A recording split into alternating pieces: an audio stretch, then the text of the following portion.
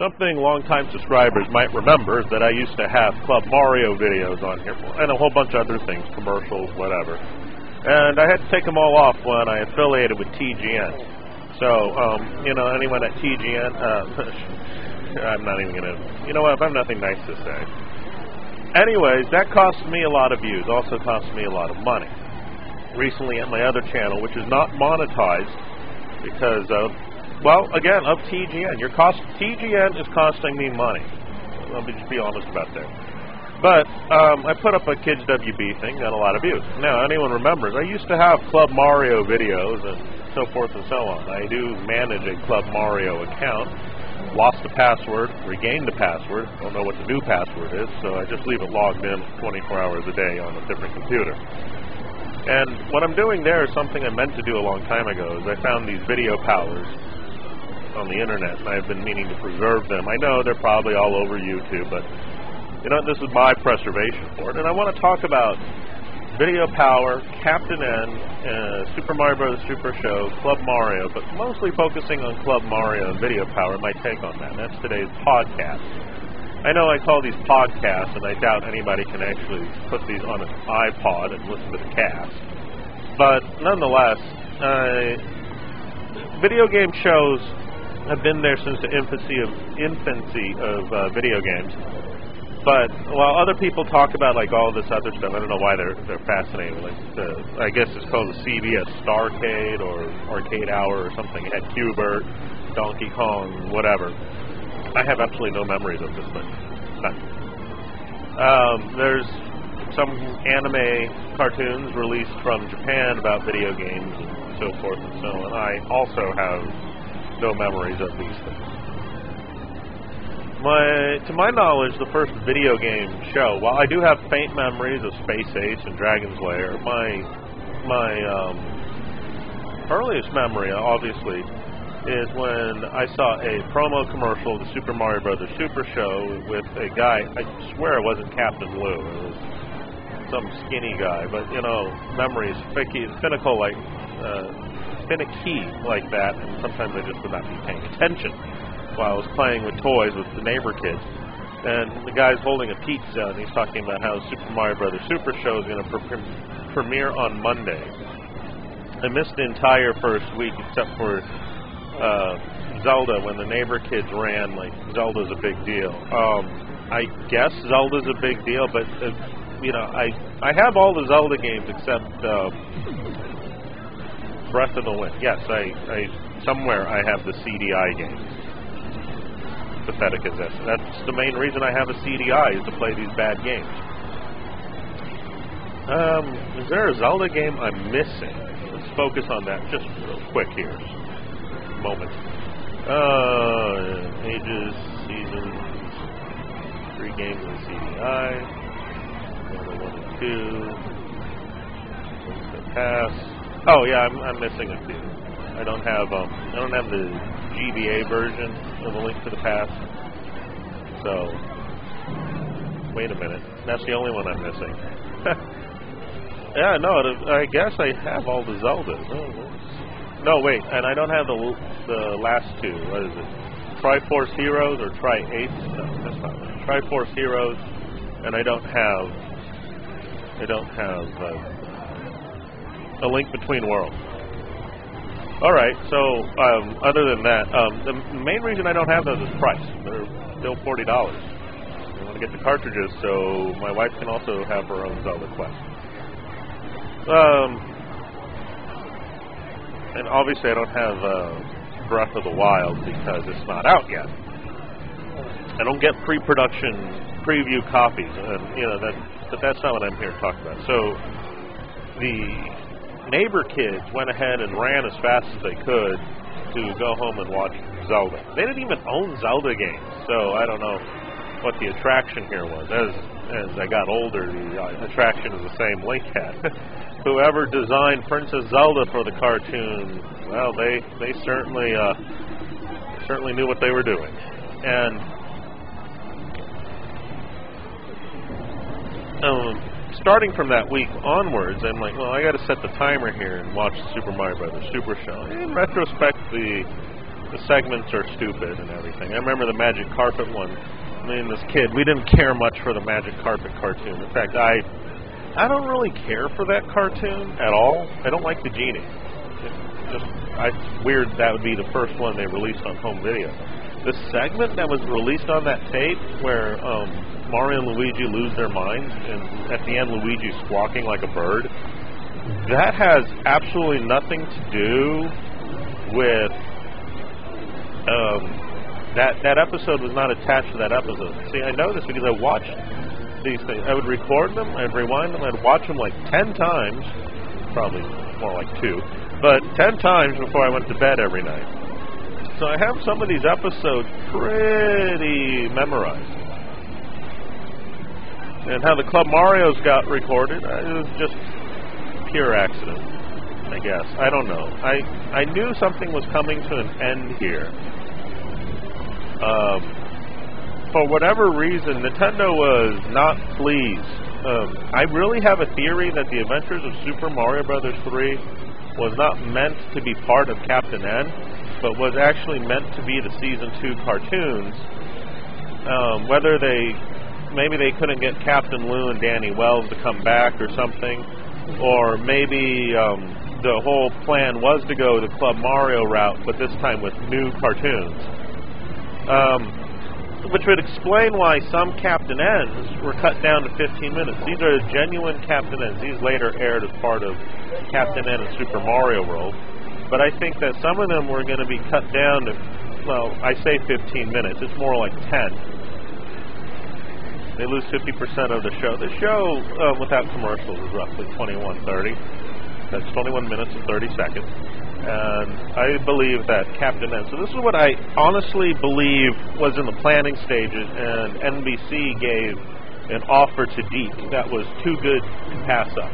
A one-hour, one hour for a very highly rated cartoon, which was Captain N with New Super Mario Brothers 3, and to make sure that kids sat through Captain N, which was which was all right. The cartoons aren't the best. I don't have nostalgia glasses on or anything. I, I mean, I, I see, I saw it then, I see it now. Captain N is not really the best cartoon, but The Adventures of Super Mario Brothers 3 has all kinds of hijinks from Koopa abducting the entire United States to uh, Mario almost marrying an ugly mermaid to garbage in Brooklyn, uh, whatever, Godzilla's mom or something like that.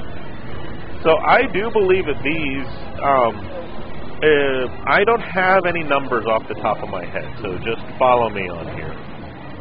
I believe that the Adventures of Super Mario Brothers 3, which would have roughly 44 episodes, was going to be season 2 of the Super Mario Brothers Super Show.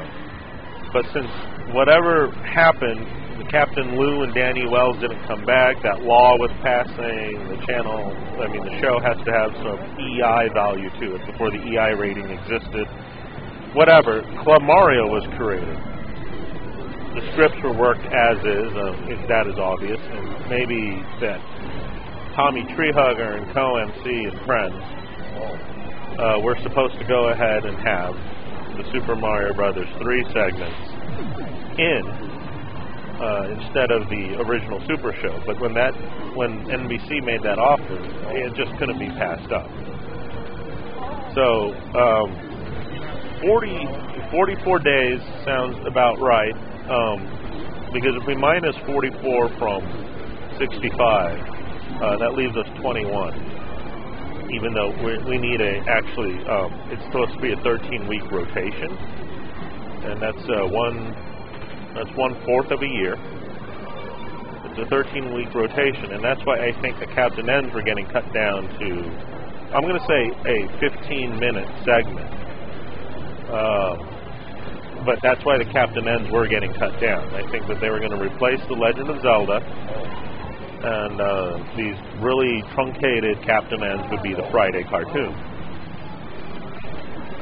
And then if you want to know what I think they would have done if they had lasted a, a third season, um, a third season, I think that they would have they would have uh, either brought back Captain N, or they would have um, made new Club Mario segments and then reinserted the original Super Show from two seasons before with Zelda. And then the fourth season, same thing, Mario 3. Um, or, or maybe they would have gone because if you notice, the animation is real crappy for the third season of Captain N and Mario 3. It could be that those were going to be for a a third season. Whatever happened, though, what I'm talking about here is pure 100% speculation. I don't know what happened.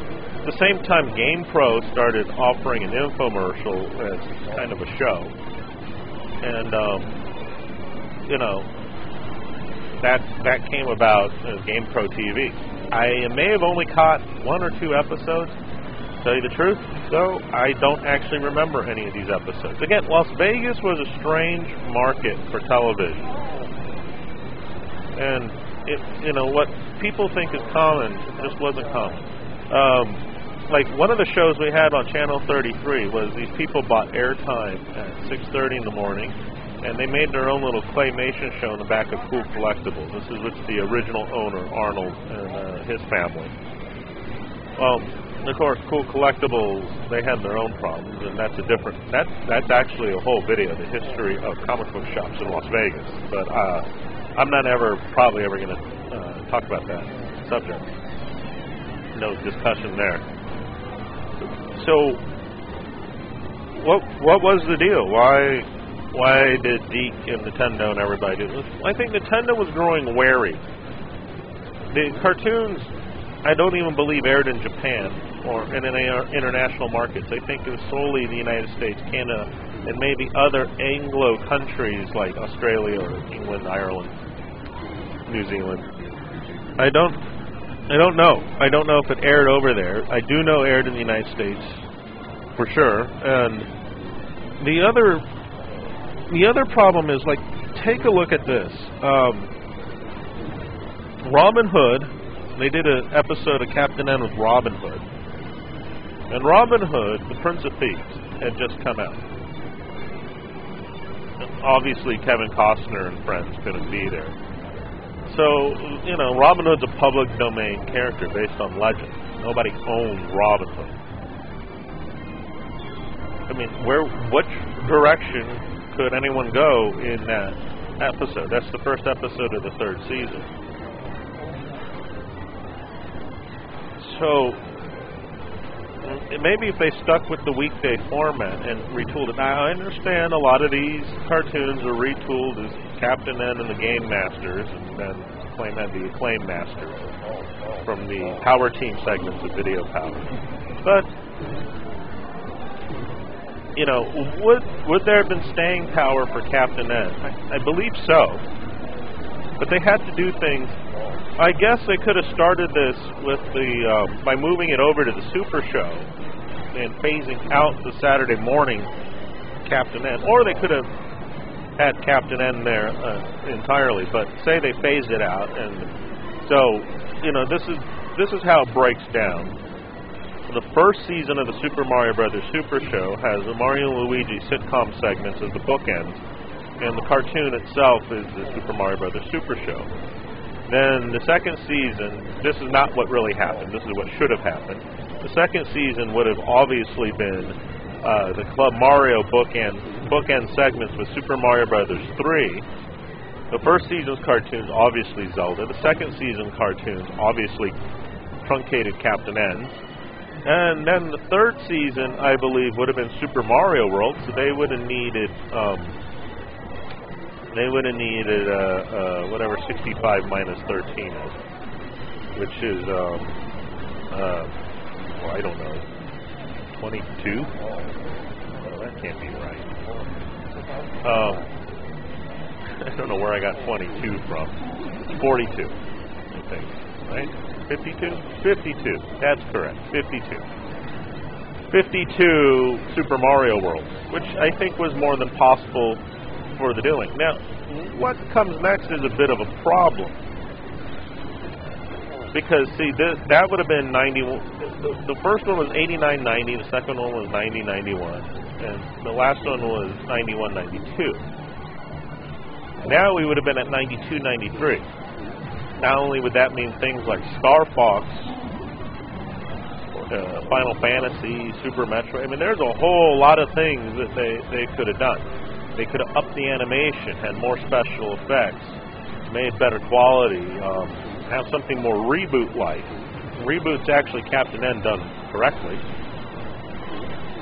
You know, but Metroid, um, well, it would have made sense because Super Metroid and Metroid 2 were were Met Super Metroid was on the horizon. Metroid 2 was out on Game Boy, so it makes sense to keep Mother Brain. Um, but King Hippo, you know, an Eggplant Wizard. I mean, you know, Punch Out though was re-released, so um, yeah, the, the, it, it could have worked.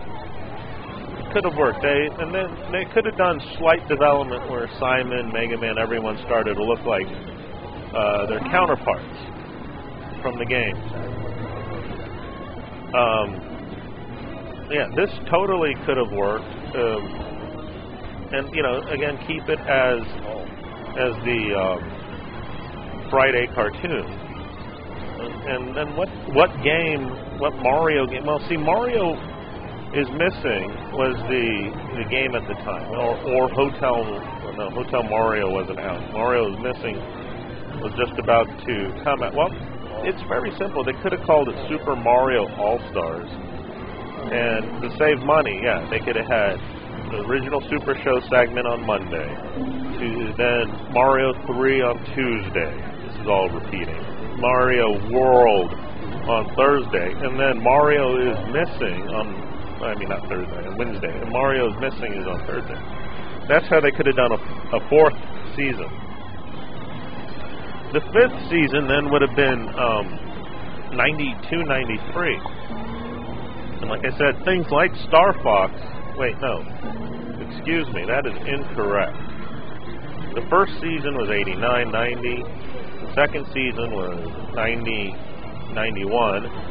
The third season was 91, 92. No, yeah, the fourth season would have been 92, 93. Street Fighter 2 could have guest starred. Um, Simpsons could have guest starred. This is all rights and clearances.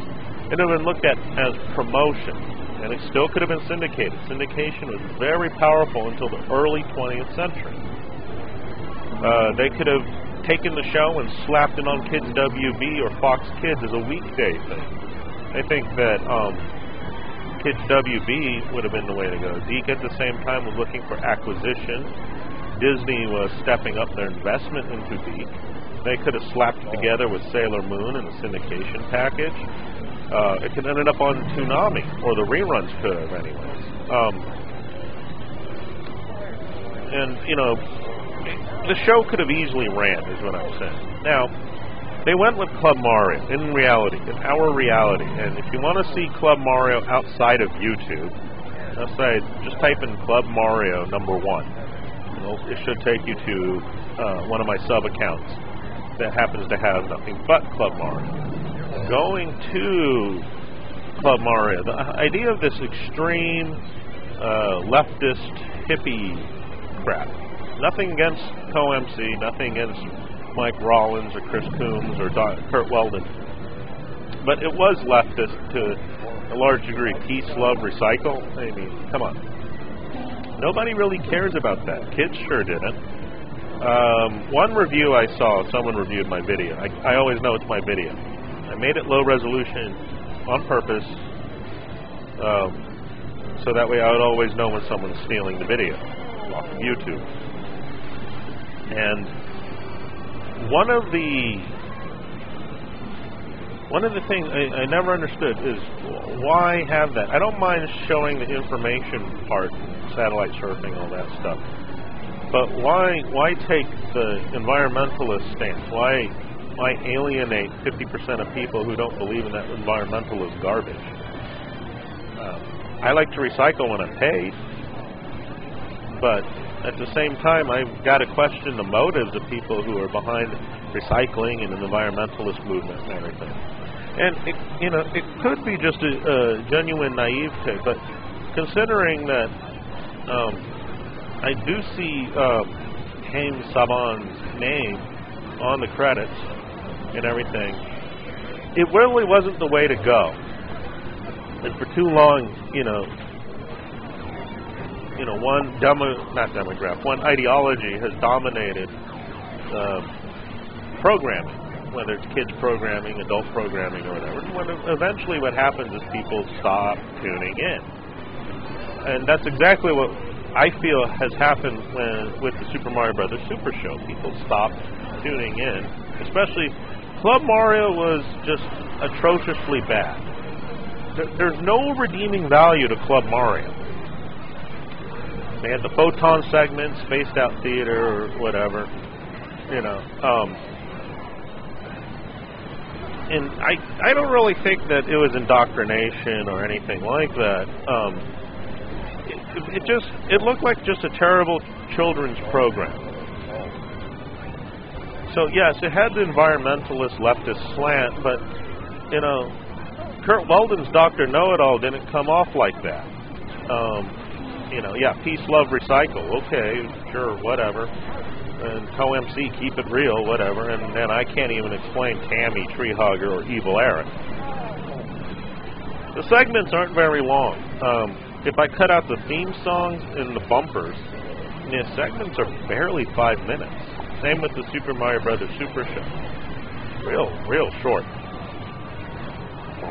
Now, moving on, there was from Acclaim at the the first season was the same time, 90-91. Video Power. There's supposed to be 65 episodes for the first season. I already seen by uh, scanning ahead in the episodes I got, they even start repeating cartoons. Um, to say that there's problems with the animation of the Super Mario Brothers Super Show and Captain N and Zelda these things look like these these things look like Miyazaki compared to the video quality and the Power Team. Uh, the Power Team has its own charm, but it ain't great. What really gets me is Johnny Arcade. Uh, I don't understand. Is this kid like AVGN? He lives in a basement, and and then what? I don't know. I don't know. He has he has this extreme, totally radical, uh, awesome in a J.D. Roth kind of way. No offense to J.D. Roth. Um, what exactly does he live in? Um, I don't have anything against the actor. He's basically being told what to do. Okay, so let me set up the premise for Johnny Arcade. Johnny Arcade lives in this I don't know. Does he live in it? He almost because uh, he he comes from somewhere. Comes from somewhere, and then he grabs some games. And boy, was his clothes terrible. He grabs some games. He goes over to this area that has all these game consoles next to him. Stuff that Acclaim didn't even make for. Acclaim did not make games for the TurboGrafx 16. If there was distribution, maybe, but they didn't make for that. They're reviewing other companies' games. Um, obviously, the Power Team is all acclaim. And yeah, he goes over and he watches the Power Team on a couch. Uh, what is. I.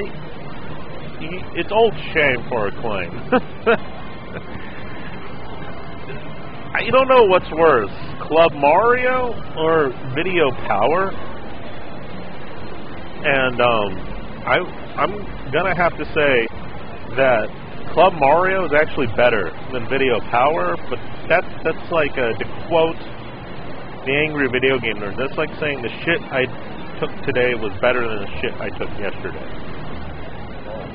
Um, his game reviews are atrocious. Again, maybe not his fault. And um, but you know, it was a novelty to see this kind of show. This guy's got, when I was a kid, this, he has this and this and this and this. I mean, I, you don't understand what it's like seeing somebody has an NES, a Genesis, and a TurboGrafx 16. That was ridiculous. I knew a kid who had a ColecoVision and an NES hooked up to the same TV. That, wow, that blew my mind. He had a ColecoVision and an NES. Okay. What did I have at this time? I had I had a, I had a TI-99 and an NES hooked up to. Okay, okay. So obviously, Johnny Arcade or Johnny Arcade even has a pinball machine in. All right. But it it's it's it's NARM and it's it's it's it's cheesy NARM. So what happens after that? Well, after Johnny Arcade and, and all this stuff, Acclaim took the cartoons, repackaged them for syndication. Eventually, they ended up on cable and called it the Acclaim Masters.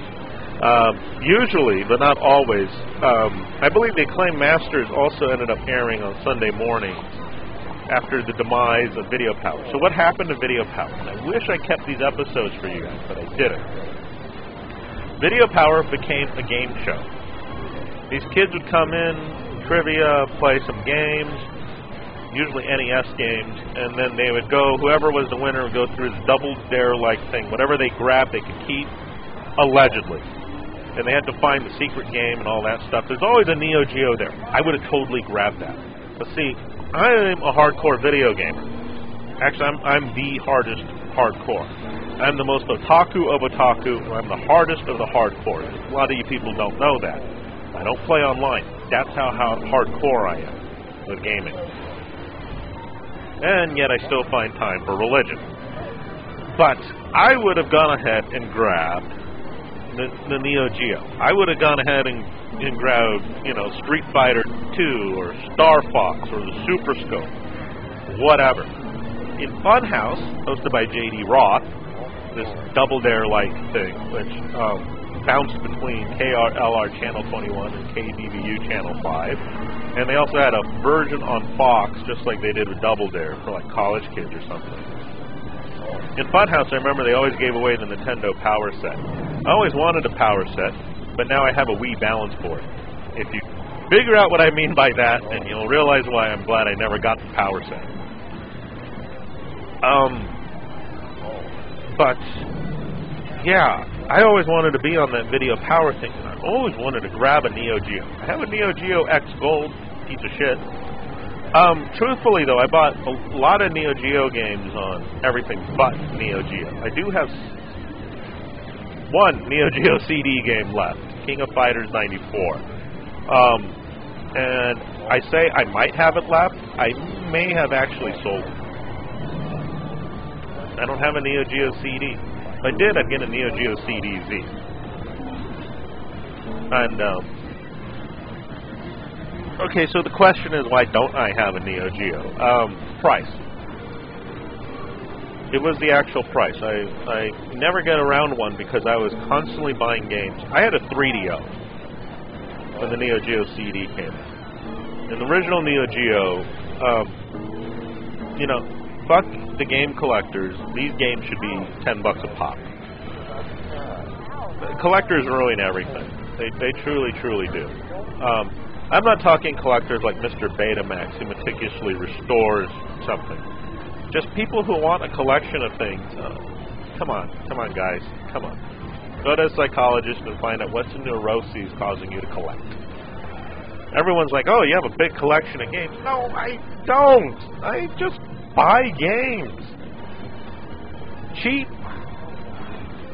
From thrift stores or Zia Records or when I got a coupon or someone gives me a gift card or something like that. I I don't go around buying games that often. I don't. I will go and I'll buy a stack of games. Sometimes, you know, whatever. And then it'll be like six months before I buy another game. All the games I have, I acquired just by buying. So, whatever. Back to Video Power and uh, Club Mario. This would not this would be the final attempt, I believe. Video Power would be the final attempt because what precedes it was um, Starcade. What, I, what does that word keep coming up? there was this reran on G4. And yeah, that, there's there's the point I'm trying to get to. On G4 was um, there was a show where people would play arcade machines. I have this on a on a Dragon's Lair DVD or something special edition DVD, Dragon's Lair. Um, man, they would go ahead and they would play this, uh, and then they, they it's a game show from the 80s. I only saw a few episodes as a child. And I think Nickelodeon had a video game game show. But that doesn't count. Again, over the air is one thing, but cable's another. Yes, cable got G4. Uh, ZDTV, which became Tech TV, which got bought by G4, also offered um, a video game show, which was originally GameSpot TV, then became X Play. People would go into a FuncoLand and walk out with a Game Informer magazine. Yeah, that's got to be the dumbest name. You know, when it comes to naming, give give the name something cool. Like even EGM is a dumb name. Game Pro, that's a name. Um, Die Hard Game Fan, uh, that's a name. Nintendo Power, Sega Vision, those are names. The official U.S. Sega Dreamcast magazine, the official U.S. PlayStation magazine. Come on. You know, what would I have called? Okay, let's look at this if I was starting a video game magazine in the 1970s, I didn't want to call it video games. What would I have called it? I would have, I would have called it, you know, you know, gaming power. That's true. And if I went ahead and, um, like Nintendo Power is perfect name. So if I went ahead later and I wanted to start a video game magazine, Next Generation, that's a name. Edge, just Edge, that's a name. Uh, so like if I did Xbox magazine, I would have signed up a deal. Uh, it should have been called X Play or or X World, something like that. And for PlayStation, it should have should have had a, a good name, not PSF. What the hell does that mean? PSX. What does the X stand for? X doesn't stand for anything. X is just something people think is a cool letter. That's it. So, X Play came out as Games GameSpot TV. GameSpot was originally VideoGames.com. It was started by EGM. Today, it is owned by CBS. How's that for weird? EGM, of course, is in the dumper. Nobody reads it. Um, and then there's all these other magazines and stuff like that. So, my grandpa loved Arena. I mentioned that in the driver episode. My grandpa loved Arena. He thought that that, that was real. But, yeah, I don't know. My grandpa watched G4. But G4 truthfully, gamers, you know, this is why I don't actually get along with a lot of video gamers. You got some fat fuck probably named Timothy who's never fucked a girl in his life. And he sits there and he wants to hear a symphony uh, play his favorite game to. Why? Why are you fucking Timothy fat fuck you? Sure, I listen to uh, WTMK, uh, MushroomKingdom.net. I listen to it all the time in my car. Uh, why? I can't stand the DJs on KN- KNTR's uh, classical music. I can't. They wreck things. it's true. The DJs are awful. They don't need DJs there. Also, um, I don't want to hear my stuff played by a symphony. I know this is like a big deal and everything, but nah. No. Thank you! There's your sound effect for today. No, I'm sorry. I'm I'm a fat fuck. I'm the otaku of otaku, and I don't care about stuff like symphonies or whatever because it doesn't feel organic or real. It's mechanical. That's the real reason why I'm admonishing Timothy the fat fuck. Because when something's mechanical like that, it doesn't flow like water. And then eventually it uh, uh, breaks the uh, levee. Uh, and draw your own metaphor from that. The point is, you know, Video Power didn't know who they were going after. They were looking at it and they saw, you know, here's little 12 year old boys. That's our demographic, although we were 10 and 11. But, you know, little 12 year old boys, that's who they're 8, 8 to 12. That was their target demographic. And I say they hit it pretty well. Club Mario could have done well by having more of a video game slant with the show. You know, oh, we're reviewing the Burbs. Wait, whoa, hold, hold on. We're reviewing the Big Blue. Whoa, hold on. Shouldn't you guys be reviewing? Oh, I don't know.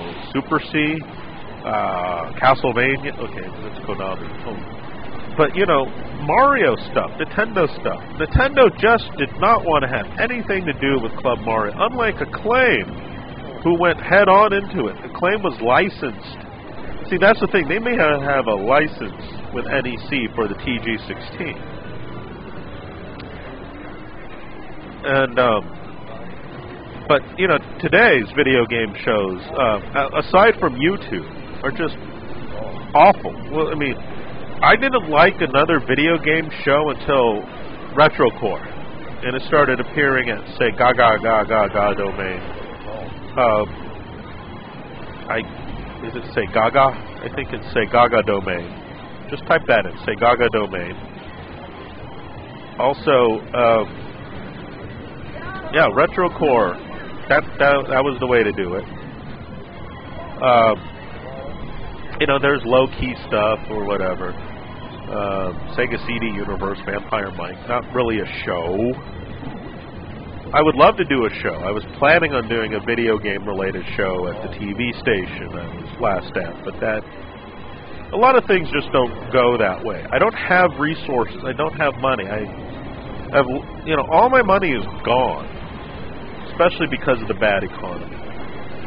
I don't have money to go buy a camera. I don't have money to go and get a cast or anything like that. No, no, none of this crowdfunding crap either.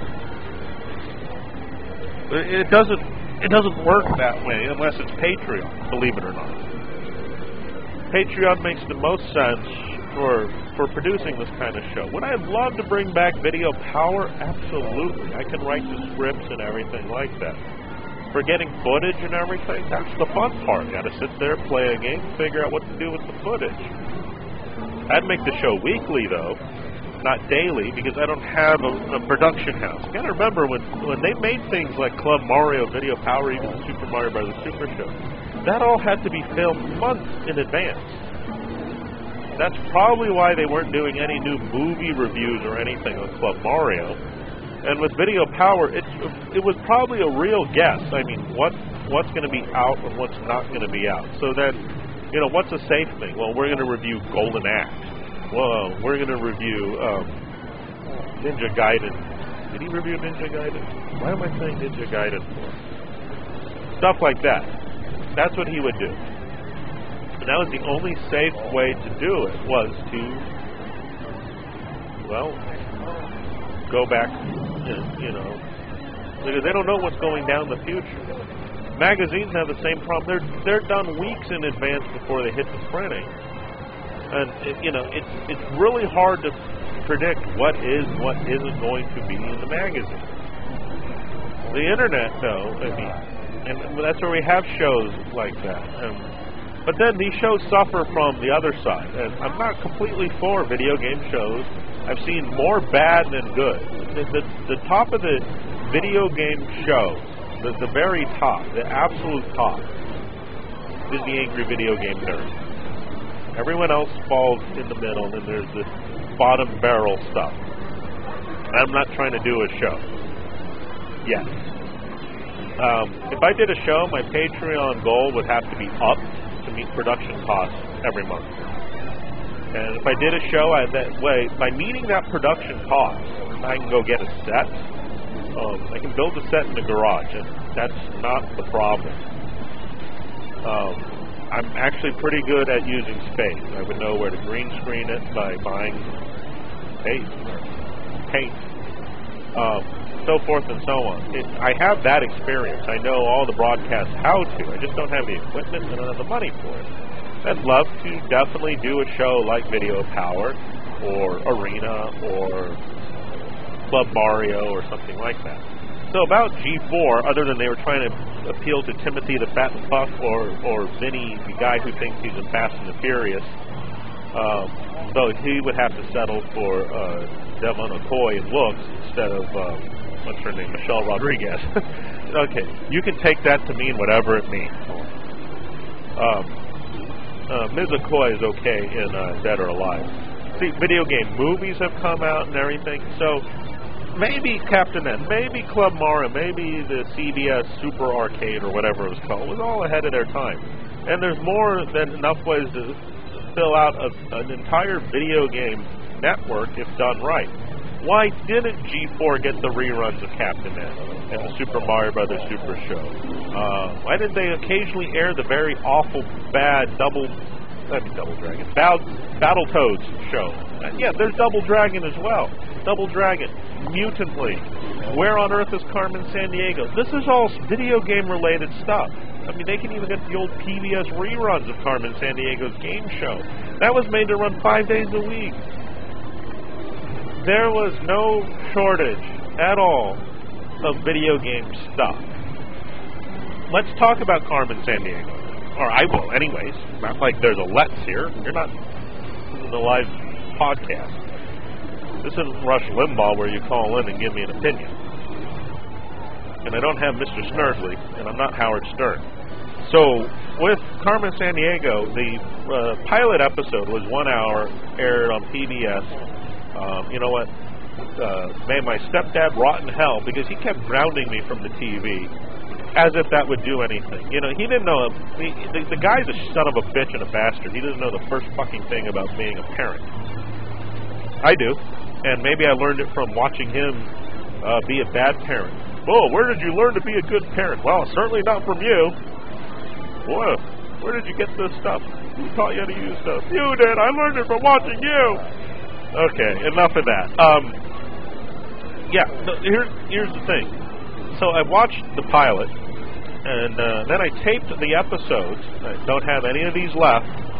I taped the episodes of Carmen Sandiego. See, anything video game related, and plus I like the Carmen games, but anything video game related, I was there. I was absolutely there. There's something someone noticed about anime uh, I watch. It wasn't until after the age of 35 I started watching non-video game related anime, other than the occasional film like Perfect Blue or Akira. But like Ghost in the Shell. Why am I watching the Ghost in the Shell anime movie? Because there's a PlayStation game released by THQ in the US and Sony in Japan called Ghost in the Shell. Why am I watching Golgo 13 uh, movies and reading his, his manga. Because, well, there's a Golgo 13 video game on Nintendo. Two of them, in fact. Many more much later. So, uh, Ranma 1 Half, Dragon Ball Z, Sailor Moon, they all had video games for me before they had the TV show. That's just the way I am with anime. I understand now today a lot of anime already plan to have the video game. They all mostly originate from manga. There's very few that say we're going to start from manga um, and not do the anime and the video games. Most do. Yu Yu Hakusho, my first exposure was the 3DO Super Famicom game. Uh, Space Adventure Cobra uh, on the Sega CD. And I believe, uh, no, on the Sega CD. I don't, I don't recall having it on anything else. Although I do now, uh, far east of Eden. Um, uh, Cobra Adventure, so forth and so on. So everything with me had a lot to do with video games. Reboot was, you know, well, that's not anime, so that, that uh, but Reboot is a video game show.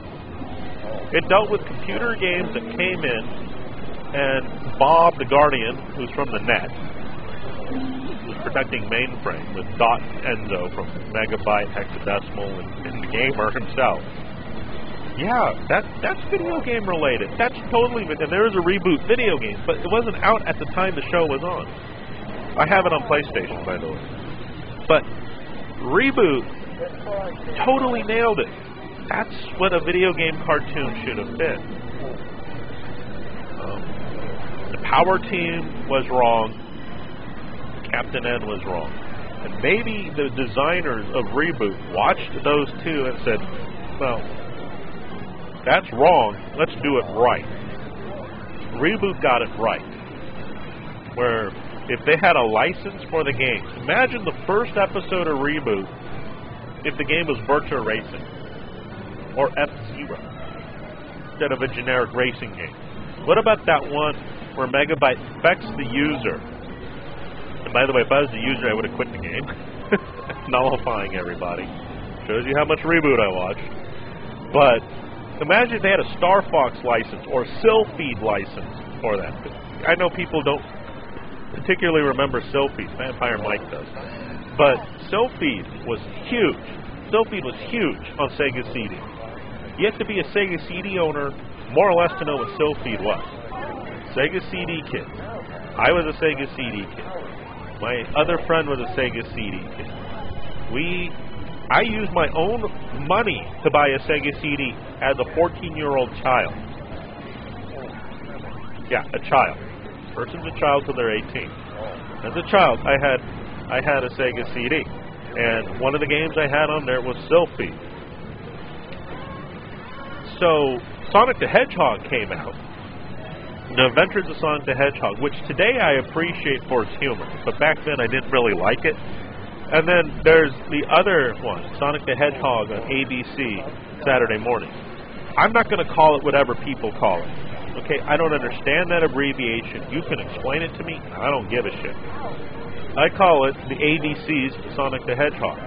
I thought I'd like that better. It reality, I like Adventures of Sonic the Hedgehog, and that other Sonic the Hedgehog can go straight to hell.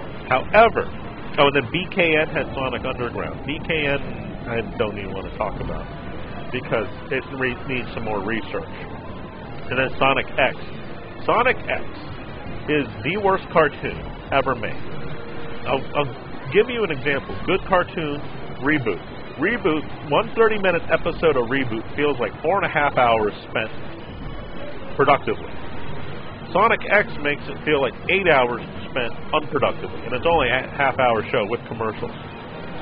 However, if I did syndication on Sonic the Hedgehog today, what I would want is this is how I want the syndication to break down. Is I want um, the Adventures of Sonic the Hedgehog for my weekday syndication. On Sunday, I want um, I want the ABC Sonic the Hedgehog. On Saturday, I want Sonic X. And then Fridays would be Sonic Underground. And that's a that's a maximum effort there. And then with Sonic X, maybe a special would be the first two or three episodes would be the Sonic the Hedgehog anime from 1996 or 97, cut up into a few episodes. That's how I would do syndication. In fact, I I can make syndication packages for everything here. Uh, should Video of Power have gone the game show route? Absolutely. No, but it was probably cheaper than having a Power Team animation. That's why they did it. Cost. Uh, can I prove that? No. Can I speculate that? Yes. What gives me that speculation? I worked in television. It's television is 100% cost how much does it cost to do this? How can we make a profit from it? I bet Acclaim took a write a write off on the power team. So the game show route was perfect. SNK, Capcom, Konami, Nintendo, Sega, even computer game companies like Sierra and Activision, which are now owned by each other, would go to Acclaim and say, we will pay you to put our boxes prominently in the game show segment. And then they, of course, they had the barter spots. So Acclaim probably made a very large profit as product placement, pure product placement on the second season of Video Power, minus Timothy the Fat Fuck. While, on the other hand, it probably went the same way on Club Mario. All those little clips we see were probably product placement put there by by companies. So when they reviewed the Burbs, that clip was obviously provided by Universal, but Universal probably paid Deke and Bull Dolphin Incorporated to go ahead and use that clip. The shirts Co-MC and Tommy Treehugger Award, probably product placement. Again, I can't confirm that. If Kurt Weldon is listening, he can go ahead and confirm it. But he's a he's probably a busy guy. He's he's been working, I think, for 40 years in uh, cartoons, animation. So, um, can you know? I, I would like it if Curt Weldon went ahead and confirmed that nonetheless, I think that's exactly also how it paid for itself, and uh, then they're done. So that that's the history of video game shows. Finally, we, we get to, and this is perfect for the end of, of today's podcast, Sailor Moon. Sailor Moon changed everything. It, it's the it's the uh, little thing what do you call it? The middle of the hourglass where the sand has to filter through. Sailor Moon was that. While shows like Earthworm Jim and Dragon Ball, Street Fighter and Darkstalkers, Mega Man, all this stuff was being created. And Sailor Moon was right there. It came out at the right time, the PlayStation era, where anime would look like anime in the cinematic came out when EGM, the most read video game magazine at the time, was um, was jacking off and putting cum all over anime. Everything. Anime, anime, anime, anime, anime. Anime started to hit big. Viz started to sell their comic book translations in bookstores and newsstands. Uh, DC and Marvel started to adapt the anime style uh, in their surviving titles. So everything, everything started to push through to anime. Sailor Moon was right there. And just like I said, EGM jacked off on anime. We know, according to the Barenaked Ladies, a lot of people jacked off to Sailor Moon, male and female. And that was that's the middle of the hourglass. The sand was filtering through.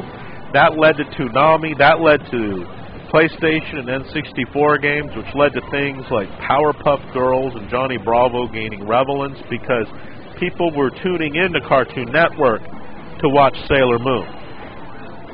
And after Toonami was over, after they watched crappy anime like Ronin Warriors and outdated American cartoons that are lame like Thundercats. Yes, the Thundercats are lame. And they watched Dragon Ball Z, which was by that point already 15 or 20 years old, I think. Then they would go ahead and they would keep it on, and what would play? They would play cartoon cartoon reruns of like Dexter's Lab or Scooby Doo or something like that. Well, Scooby Doo's not a cartoon cartoon, so excuse me on uh, my mistake there. You know, Disney couldn't compete.